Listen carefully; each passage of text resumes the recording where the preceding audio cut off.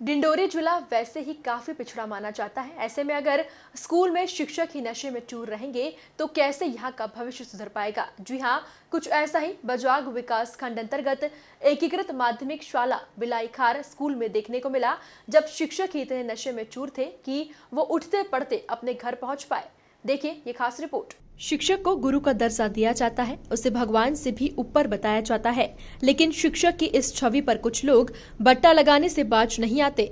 ऐसा ही एक मामला बजवाग विकास खंड अंतर्गत एकीकृत माध्यमिक शाला बिलाईखार स्कूल में देखने को मिला, जब शिक्षक ही शराब के नशे में इतना टल्ली हो गया कि उसे चलने तक का होश नहीं था तो बच्चों को पढ़ाने की बात तो दूर।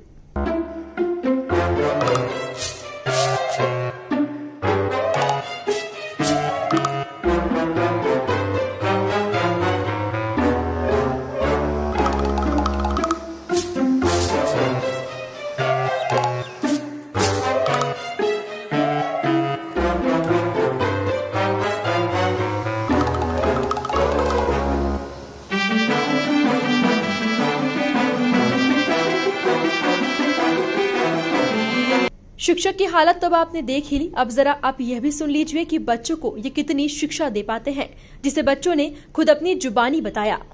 गंगोत्री कौन सी क्लास में सातवीं।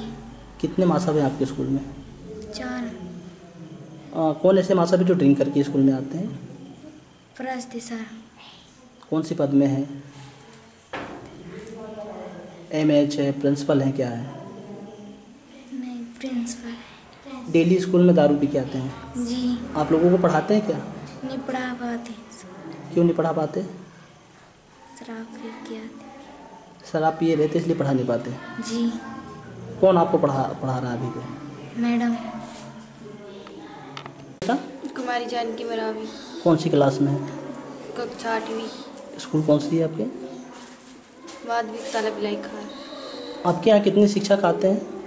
चार। ऐसे शिक्षक कौन है जो ड्रिंक करके स्कूल आते हैं? लामो सिंह परस्ते। कौन सी पद में पदस्थ है ये?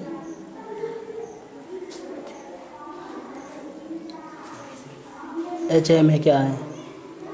एच एम तो डेली ड्रिंक करके स्कूल आते हैं। जी सर। आप लोगों को नशे की हालत में पढ़ा पाते हैं क्या? नहीं सर। नहीं पढ़ाते। क्या चाहते हैं आप? वो सर निकल जाए बेटा? सुहाना मरावी कौन सी क्लास में पढ़ाई करते हैं? सातवीं। कौन से स्कूल पे? एकीकृत माध्यमिक शाला बिलाईखार कितने मासा बा आपके स्कूल में? है चार। यहाँ पे कौन सा मासा है जो है ड्रिंक करके आते हैं? शराब पी के कौन से मासा आते हैं? रामू सर डेली शराब पी के आते हैं स्कूल? जी। आप लोगों को पढ़ाते हैं? थोड़ा सा पढ़ाते हैं। थोड़ा सा पढ़ाते हैं। जी। बाकी समय कौन पढ़ाता है आप लोगों को? मैम मैम पढ़ाती है। जी। वह जब इस संबंध में अधिकारी से जानकारी ली गई तो उन्होंने बताया कि उनकी पोस्टिंग कन्या हायर सेकेंडरी स्कूल में की गई थी लेकिन इन्हीं हरकतों की वजह से माध्यमिक शाला स्कूल में अटैच किया गया। जहाँ इस स्कूल में भी उनकी हालत वैसी ही है जिस पर अधिकारियों ने तीन दिन के भीतर कार्रवाई का आश्वासन दिया। कार्रवाई करेंगे, एक बार हम जाके देख लेते हैं निरीक्षण करने के उपरांत इसके ऊपर कार्रवाई करेंगे, प्रस्ताव वगैरह यूपीएससी के पास भेजेंगे। हम दो तीन दिन में कार्रवाई करके भिजवा देते हैं।